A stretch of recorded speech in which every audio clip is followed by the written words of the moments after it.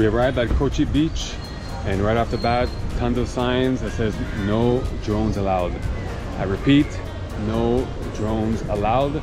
But we'll see how this uh, evening concludes with uh, hopefully a nice sunset. A lot of people. All right.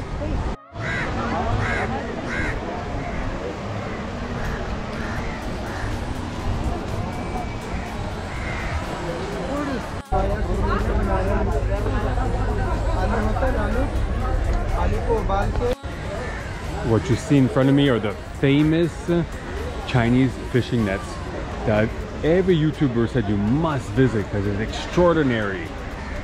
Nothing's really happening right now probably, but famous, famous Chinese nets here in Kochi, Kerala. Bonjour. Bonjour. Beautiful shrimp. Wow, beautiful. Yeah, of course I am. Fresh fish from the sea, from the Arabian Sea. Wow. What chibat, eh?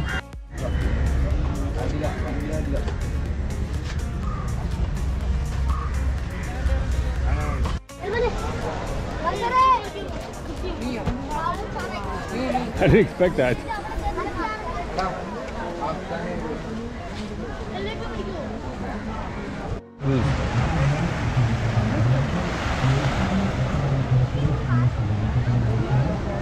So, not the cleanest beach. Definitely not uh, crystal blue waters like Kovalam Beach, and definitely Cherai Beach. I think we went. That's sorry, no, we, that Cherai Beach much better than this.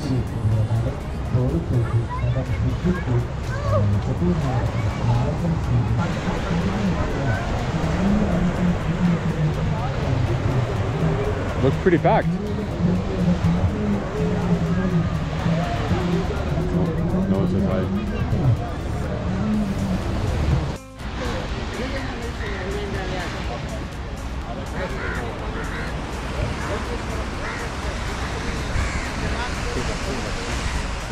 Oh, chicken.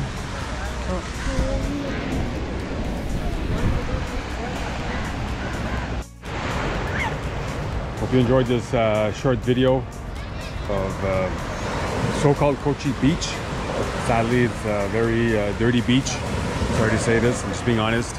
There's garbage bins everywhere, but uh, the beach is very dirty. It's uh, definitely not swimmable. Uh, nice sunset. Uh, Chinese nets for me wasn't anything crazy special.